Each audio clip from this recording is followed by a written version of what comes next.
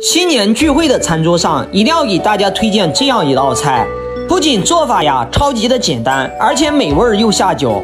如果您学会了这道菜，钱不用多花，健康好吃顶呱呱。上桌之后吃完绝对人人把你夸。早上我去菜市场花了十块钱买了一块新鲜的猪肝，改完刀之后用清水多清洗几遍，这样能够有效的减少它的腥味儿。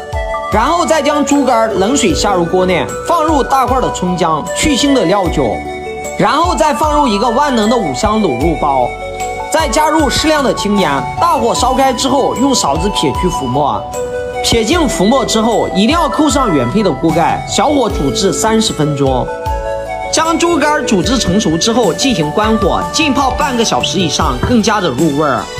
卤好的猪肝捞出之后自然放凉。这个时间段呢，也别闲着，将去皮的洋葱改刀切成三角片儿，尽量切的大小均匀一些。再将洗净的红椒改刀切成菱形片儿，洗净的香菜改刀切成寸段，提味儿还能搭配颜色。放凉的猪肝改刀切成厚厚的薄片儿。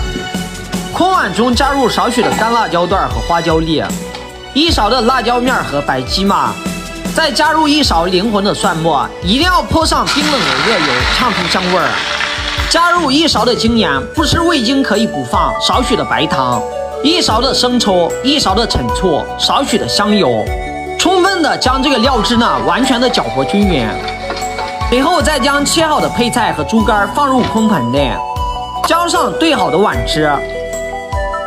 这里的重点啊，依然要提醒大家，拌凉菜的时候呢，一定要像我这样搂着拌，这样拌出来的菜呢，有型好看，不容易出汤。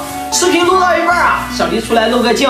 如果您的手机啊还有电，就帮小弟朝着屏幕点两下，辛苦您了，感谢您了。拌之后完美的装入盘中即可完成。学会请点赞，没学会的继续看。如果有缘您刷到我这个视频，别忘了关注小弟，分享给更多的朋友。